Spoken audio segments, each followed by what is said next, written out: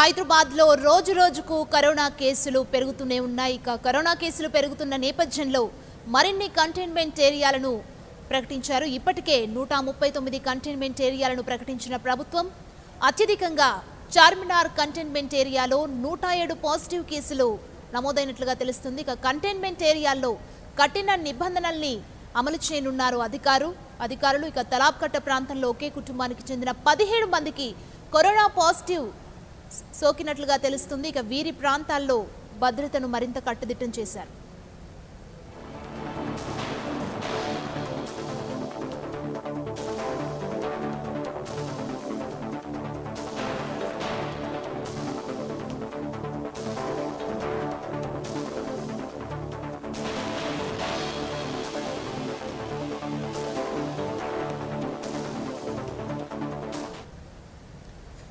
Right హైదరాబాద్లో రోజు రోజుకు కరోనా కేసులు పెరుగుతూనే ఉన్నాయి. ఈ నేపథ్యంలో మరిన్ని కంటైన్మెంట్ ఏరియాలను ఇప్పటికే నూట ముప్పై తొమ్మిది కంటైన్మెంట్ ఏరియాలను ప్రకటించింది ప్రభుత్వం. అత్యధికంగా చూసుకున్నట్లయితే కంటైన్మెంట్ ఏరియా నూట ఏడులో పాజిటివ్ కేసులు నమోదైనట్లుగా తెలుస్తుంది.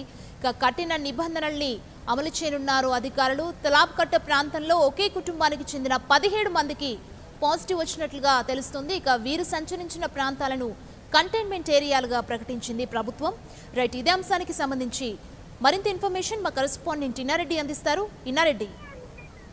సుమా సుమ హైదరాబాద్లో పెరుగుతున్న ఈ పాజిటివ్ కేసుల నేపథ్యంలో ఒక ఒక కంటోన్మెంట్లను ఏర్పాటు చేసి అక్కడ ప్రత్యేకమైన కఠిన నిబంధనలు ఏర్పాటు చేసుకుని ఎక్కడైతే పాజిటివ్ కేసులు ఎక్కువగా ఉన్నాయో ఆయా ప్రాంతాలలో ఈ కంటోన్మెంట్లుగా విభజించి ఆ ప్రాంతాలన్నింటినీ కూడా శానిటైజేషన్ తర్వాత పురుగుల మందులు చల్లుకుంటూ ఎవరిని కూడా బయటకు రానికుండా బయట వాళ్ళని లోపల రానికుండా కొత్త వాళ్ళని అలౌ చేయకుండా ఉన్న వాళ్ళకు ఎప్పటికప్పుడు హెల్త్ చెకప్లు చేస్తూ ఆ ప్రాంతాలన్నింటిని కూడా జీరో పర్సెంట్ పాజిటివ్ కేసు చేయాలని చెప్పని ఇప్పటికే కంటోన్మెంట్లను కంటోన్మెంట్ ఏర్పాటు చేసి దానికి ప్రత్యేకమైన అధికారులను అధికారులను కూడా నియమించడం జరిగింది. హెల్త్ అధికారులు శానిటైజేషన్ అధికారులు నియమించడం జరిగింది.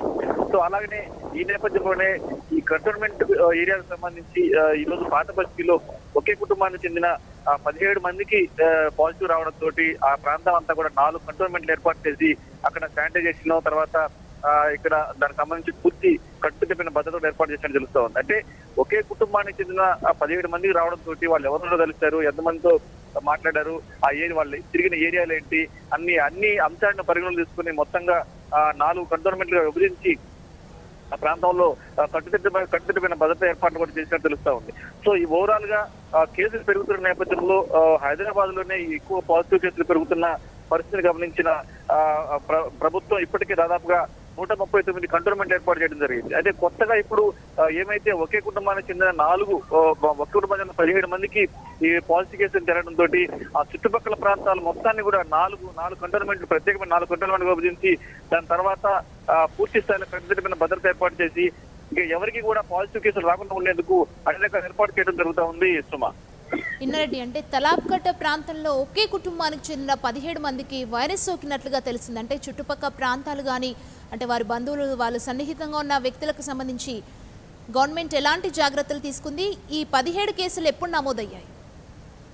అయితే ఈ- రోజు ఒక వ్యక్తికి సంబంధించి ఏమైతే పాజిటివ్ చేస్తూ వచ్చిన నేపథ్యంలో వెంటనే స్పందించిన ప్రభుత్వ యంత్రాంగం ఆ, ప్రాంతంలో పరీక్షలు చేసినప్పుడు ఒక కుటుంబంలో పదిహేడు మందికి పాజిటివ్ కేసులు వచ్చేట్టుగా తేలింది. అయితే ఎమ్మటే వీరు సంచరించిన ప్రాంతాలన్నింటినీ కూడా నాలుగు కంటైన్మెంట్ జోన్లు విభజించడం జరిగింది. అయితే అదే స్థాయిలో twenty four into seven GHMC police revenue medical అధికారులు కూడా సేవ అందిస్తున్నారు. అలాగనే ఇక్కడ కలావకట్లోని నాలుగు కంటోన్మెంట్ జోన్లు దాదాపుగా తొమ్మిది వందల పైగా కుటుంబాలు ఉన్నాయి. ఈ తొమ్మిది వందల పైగా కుటుంబాలను కూడా కంటోన్మెంట్లో చేర్చి వాళ్ళు ఎవరన్నా అంటే పాజిటివ్గా వచ్చిన పదిహేడు పదిహేడు మందికి సంబంధించి ఎవరన్నా వీళ్ళతో కాంటాక్ట్ ఉన్నారా వీళ్ళతో కమ్యూనికేట్ చేశారా అన్న అన్ని విషయాలు పరిగణలో తీసుకొని నాలుగు కంటైన్మెంట్లు ఏర్పాటు చేసి ఈ తొమ్మిది వందల కుటుంబాలను కూడా తమ ఆధీనంలో తీసుకొని వాళ్ళకి పూర్తి స్థాయిలో హెల్త్ చెకప్లు చేస్తూ తర్వాత ఆ ప్రాంతాలు శానిటైజింగ్ చేస్తూ పురుగు మందులు మొత్తాన్ని కూడా తమ ఆధీనంలో తీసుకొని ఎవరికి కూడా రాకుండా తర్వాత ఎవరైనా పాజిటివ్ కేసెస్ సిమ్టమ్స్ ఉంటే వాళ్ళ వెంటనే హాస్పిటల్ తరలిస్తూ ప్రభుత్వ అధికారులు అప్రమత్తం చేసి ఇమీడియట్గా యాక్షన్ ప్లాన్ను అమలు చేస్తూ ప్రస్తుతం అయితే మాత్రం కరపగట్ట ప్రాంతం అంతా కూడా ఈ తొమ్మిది వందల కుటుంబాలకు సంబంధించి ప్రత్యేకమైన హెల్ప్ చర్యలు అంటే ప్రత్యేకంగా వాళ్ళను జిహెచ్ఎంసీ అధికారులు అలాగే ఆరోగ్య శాఖ అధికారులు వాళ్ళ పరిశీలిస్తూ ఆ తొమ్మిది వందల కుటుంబాలకు రక్షణగా ఉంటూ బయట నుంచి ఎవరికి రానియకుండా వీళ్ళకి ఆ, పూర్తి రక్షణ బాధ్యత ప్రభుత్వం చేపట్టింది సుమ. ఇన్నారెడ్డి అంటే ఈ తలాబ్కట్ట ప్రాంతంలో ఒకే కుటుంబానికి సంబంధించి ఏవైతే పదిహేడు కేసులు నమోదయ్యాయో అంటే అవి స్థానికంగా ఉన్న ప్రజల్లో పాజిటివ్ లక్షణాలు వచ్చాయా లేదంటే ఢిల్లీ మార్కజ్కి వెళ్ళిన ఆ, వారి కేసులు ఏమైనా ఉన్నాయా? ఏం చెప్తున్నారు? అయితే దీనికి సంబంధించి మనం గమనించవచ్చు సుమా దీని ఢిల్లీకి సంబంధించిన వ్యవహారంలో ఇది రకంగా వాళ్ళకి కుటుంబానికి వచ్చిందని చెప్పి కూడా తెలుస్తోంది. ఒక అంటే వీళ్ళు కమ్యూనికేట్ చేసి చేయడం ద్వారా కూడా ఈ వైరస్ ఒక కుటుంబంలో ఒక వ్యక్తి సోకడం తర్వాత ఈ సింటమ్స్ వచ్చినప్పటికీ కూడా వాళ్ళు ఏమాత్రం కూడా సరైన చర్యలు తీసుకోకపోవడం వల్లనే ఈ- ఈ రకంగా కుటుంబం మొత్తానికి సుమ మనం గమనించవచ్చు ఇప్పటి వరకు వచ్చిన కేసులన్నింటిలో కూడా కుటుంబంలో ఎవరైనా ఒక వ్యక్తికి సిమ్టమ్స్ కనిపించినప్పుడు వెంటనే హాస్పిటల్కి వెళ్ళి ట్రీట్మెంట్ తీసుకోకుండా వాళ్ళు నిర్లక్ష్యం వహించే వల్ల కుటుంబం అంతా కూడా బలైన పరిస్థితి. సో మనం గమనించవచ్చు ఓవరాల్గా చూస్తే ఈ రోజు గాంధీ హాస్పిటల్లో ఇరవై మంది చిన్నారులు కూడా ఇరవై రెండు రోజుల పాప నుంచి పన్నెండు సంవత్సరాల పాప వరకు కూడా చిన్న పిల్లలకు కూడా పాజిటివ్ పాజిటివ్ వచ్చిన సందర్భం మనం గమనిస్తున్నాం.